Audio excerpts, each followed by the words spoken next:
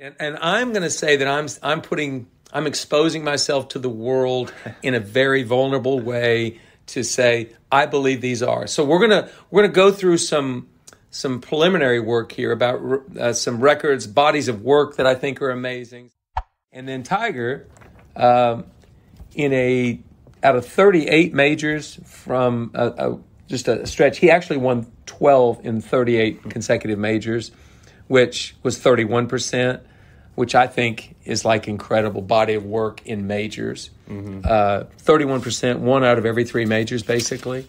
Uh, for that is a hot take. Coach. That's a hot take. Now, but I'm going to get to that. That's my number one. The other four, five, or six that I'm going to give you here could be breakable, but they're really, really going to be tough.